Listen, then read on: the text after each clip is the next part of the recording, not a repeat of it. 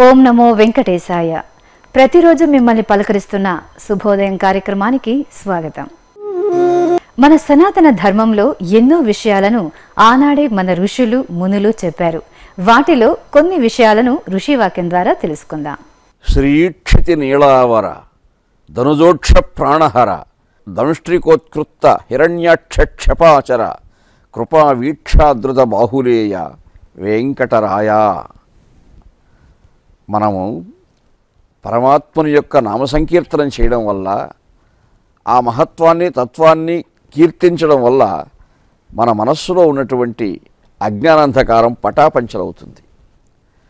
అటువంటి ఆ పరమాత్మను ఏ విధంగా మనం స్మరించాలి? భాగవతం చెప్పినట్టుగా శ్రవణం కీర్తనం విష్ణు స్మరణం పాదసేవనం అర్చనం వందనం దాస్యం సఖ్యం ఆత్మనివేదనం ఇత్యాది నవవిధ మార్గాలలో అర్చించే రీతులలో స్మరించే రీతులలో ఈ సంప్రదాయాలన్నింటిలో కూడా వెంకటాచల మహాత్మ్యంలో పేర్కొన్నటువంటి అంశాలు ఏమంటే ప్రత్యేకించి అనంతకల్ప సంజాత పాపరాశి వినాశకం. ఈ జీవుడు అనంత కల్పాల నుండి ఎన్ని జన్మలు ఇచ్చాడో చెప్పలేము. అన్ని జన్మల్లో కూడా కర్మబంధాన్ని మనం మూటగట్టుకుంటున్నాం ఈ కర్మబంధం కానీ ఈ పాపముల ఫలితం కానీ మనకు పోవాలి అంటే ఆ వెంకటాచలంలో వెలసి ఉన్నటువంటి వెంకటేశ్వర స్వామి యొక్క పాదార వింద మకరంద రసాస్వాదనం చేయడం వల్ల మనలో ఉన్నటువంటి ఆ మాలిన్యం అంతా కూడా తొలగిపోతుంది అని వెంకటాచల మహాత్య స్థల పురాణ విశేషాలు ప్రత్యేకించి పేర్కొంటూ ఉన్నాయి. అందులోనూ భవిష్యోత్తర పురాణంలో రహస్యాధ్యాయంలో మహర్షులకు ప్రబోధించినటువంటి సమయంలో ప్రత్యేకించి చెప్పారు. వాంగ్మన శ్రవణానంద మకరంద ఫలప్రదం. ధ్యాన శ్రవణ మాత్రేణ బ్రహ్మానంద పదప్రదం. అనంత కల్ప సంజాత పాపరాశి వినాశకం. ఎన్నో కల్పముల నుండి ఎన్నో యుగముల నుండి ఈ జీవుడు అనేక జన్మ పరంపరలో దాటి వస్తున్నాడు కాబట్టి ఈ జనన మరణ ప్రవాహంలో మనం చేసినటువంటి ఈ కర్మబంధాలు మాలిన్యాలన్నీ కూడా తొలగిపోవాలంటే వాంగ్మన శ్రవణానంద మకరంద ఫలప్రదమైనటువంటి వెంకటేశ్వర స్వామి యొక్క కైంకర్యంలో మనం నిమగ్నం కావాలి. వాక్కు మనస్సు శ్రవణము. వాంగ్మన శ్రవణానంద మకరంద ఫలప్రదం. మకరందం అంటే తేనె. తేనె ఎంత మధురాతి మధురమైనటువంటి పదార్థము? అంత మధురాతి మధురమైనటువంటి ఒక రసానుభూతి మనకు పరమాత్మ ప్రసాదిస్తూ ఉన్నాడు. వాక్కు చేత శ్రవణము చేత మనస్సు చేత ఆ దేవదేవుని యొక్క స్మరణకు అర్చిరాది కైంకర్యములకు మనం నిమగ్నమైనప్పుడు. మరి వాక్కుతో మనం ప్రార్థన చేసినా కీర్తనం చేసినా మనసులో స్మరించిన ఒకసారి అంత ఫలితాన్ని ఇస్తున్నాడు అంటే ధ్యాన శ్రవణ మాత్రేణ మనం ధ్యానం చేస్తామనుకోండి తత్ర ప్రత్యేకతారత ధ్యానం అన్నారు పెద్దలు పతంజలి మహర్షి. అటువంటి ధ్యానమే మనం నిర్వహించినప్పుడు అంటే ఏకాగ్రత బంధుల చిత్తవృత్తితో మన అంతరంగంలో ఆ పరమాత్మ వెంకటేశ్వర స్వామి వారి యొక్క దివ్యమంగళమూర్తిని ప్రతిష్ఠించుకొని మనం ధ్యానం చేశామంటే బ్రహ్మానంద పదప్రదం. అదే భాగవత సంప్రదాయం కూడా. అరవిందాక్ష పదారవింద మకరంద ఆసక్తులయ్యున్న సత్పురుష శ్రేష్ఠుల వృత్తములు వినక దుర్బుద్ధిని విలంఘించి దుర్నర వార్తా కథన ప్రపంచములు కర్ణప్రాప్తి గావించి వాసరములు వ్యర్థత పుచుచుండ ఈ సంసార బంధంబునను. ఈ సంసార బంధంలో తగులుకున్నందువల్ల ఈ కర్మబంధాల్లో ఉన్నందువల్ల ఈ మాలిన్యం అంతా మనం పోగొట్టుకోవాలి అంటే ఆ ధ్యాన శ్రవణ మాత్రేణ బ్రహ్మానంద పదప్రదమైనటువంటి వెంకటాచల మహాత్యాన్ని ఆ వెంకటేశ్వర స్వామి వారి యొక్క వైభవాన్ని ఆ దేవదేవుని యొక్క లీలా విభూతిని మనం ఎప్పుడూ మనసులో అనుసంధానం చేసుకుంటూ ఉండాలి. అందులో ప్రత్యేకించి ప్రాతకాలంలో ఈ వెంకటేశ్వర సుప్రభాతాది శ్లోకాలలో ఉన్నటువంటి అంతరార్థం కూడా అదే అని మనం గ్రహించవలసిన అవసరం.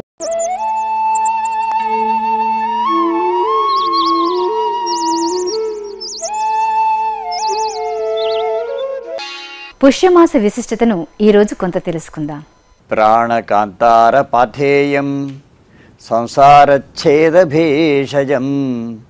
దుఃఖశోక పరిత్రాణం హరిరిత్యక్షరద్వయం అతి పవిత్రమైనటువంటి కాలప్రవాహంలో పుష్యమాసంలో మనం శ్రీమన్నారాయణుని హరి అనేటువంటి శబ్దంతో కీర్తించుకోవాలి అని మనకి ధర్మశాస్త్రాలు చెప్తున్నాయి. ఇక్కడ ఈ హరిశబ్దం యొక్క ప్రభావం ఎటువంటిది అనేటువంటిది మనకు భీష్మరాజస్తవంలో చెప్పబడినటువంటి విధంగా ఇలా లభిస్తున్నదన్నమాట. ప్రాణకాంతార పాథేయం కాంతారం అంటే అడవి. ప్రాణకాంతారం అంటే మన యొక్క దేహంలో నిత్యం సంచరించేటువంటి ప్రాణ అపాన వ్యాన ఉదాన సమానాది వాయువులు ఏవైతే ఉన్నాయో పంచ ప్రధాన వాయువులు పంచ ఉపవాయువులు ఈ వాయుకోశం అయినటువంటి ఈ శరీరంలో ఈ వాయుకోశం అంతా ఒక పెద్ద అరణ్యం అట అరణ్యంలో ఏ బాటసారైనా సంచారం చేసేటువంటి సమయంలో తనకంటూ తినడానికి కొంత పాథేయాన్ని తీసుకుని వెళ్తాడు. అంటే పథి అంటే మార్గంలో భుజించడానికి అనువైన ఆహారపు మూటని పాథేయము అంటారన్నమాట. కాబట్టి మామూలుగా జీవయాత్ర ఏదైతే ఉన్నదో లోకయాత్ర లాంటిదే ఈ జీవయాత్ర కూడా. కనుక జీవుడు పుట్టిన దగ్గర నుంచి మరణించే వరకు చేసేటువంటి ఉచ్ఛ్వాస నిశ్వాసల యొక్క ప్రయాణ కాలంలో తాను శ్వాసించవలసినటువంటి సమయంలో హరిశబ్దాన్ని ఉచ్ఛ్వాస నిశ్వాసల్లో చెప్పుకుంటే దానివల్ల అక్కడ జరిగేటువంటి ప్రభావం ప్రయోజనం ఏమిటి అంటే ఆ హరిశబ్దం ప్రాణయాత్రలో పాథేయంగా ఉపయోగపడుతుందట. అంటే ఆ జీవునికి కావలసినటువంటి శక్తి యుక్తుల్ని సామర్థ్యాన్ని ఇచ్చేటువంటి మహత్తరమైన దివ్యమైనటువంటి ఆహారం అన్నమాట. అదేవిధంగా సంసారచ్ఛేద భేషజం మనకు అనేక రకాలైనటువంటి రుగ్మతలు ఉన్నాయి ఆధులు వ్యాధులు అని రెండు రకాలు. ఆధి అంటే మానసికమైనటువంటి అనారోగ్యం అన్నమాట. వ్యాధి అంటే శారీరకమైనటువంటి అనారోగ్యం.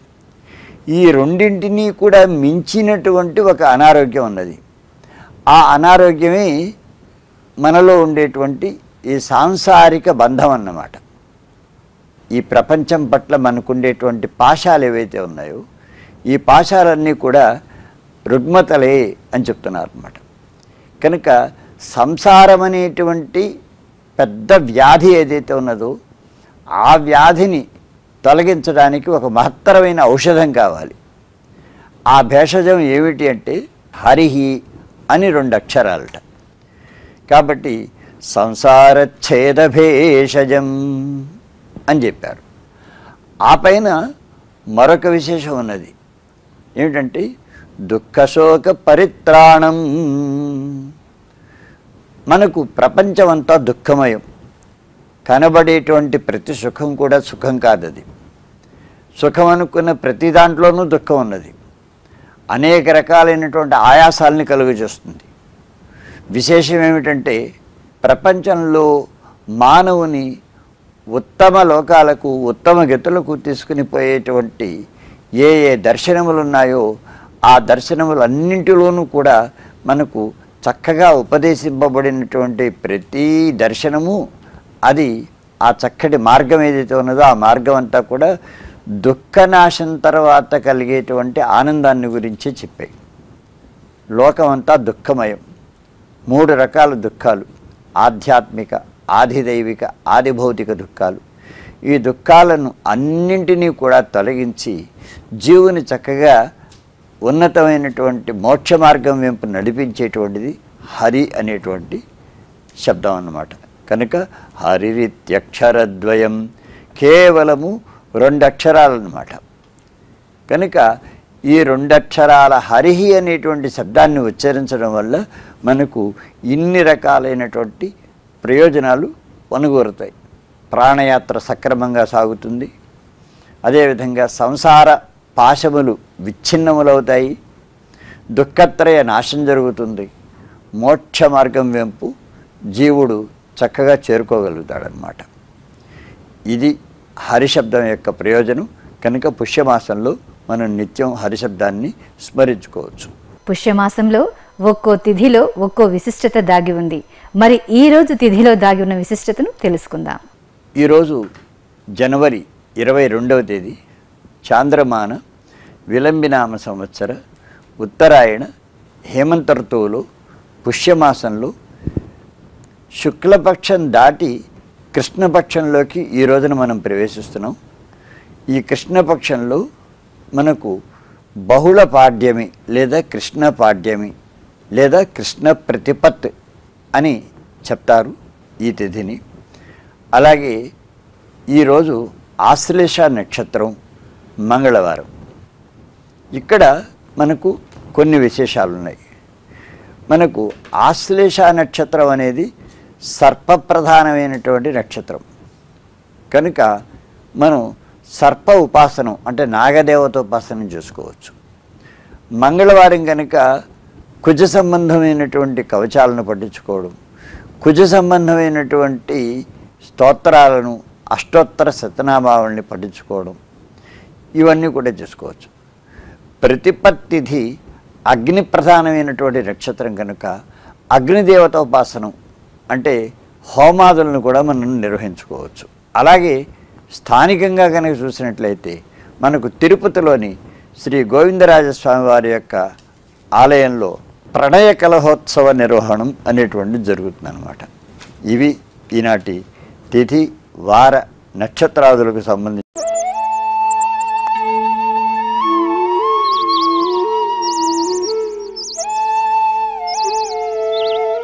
నాటి శుభోదయం కార్యక్రమం మిమ్మల్ని ఆదరించిందని ఆశిస్తూ రేపటి శుభోదయం కార్యక్రమంలో మళ్ళీ కలుసుకుందాం. ఓం నమో వెంకటేశాయ.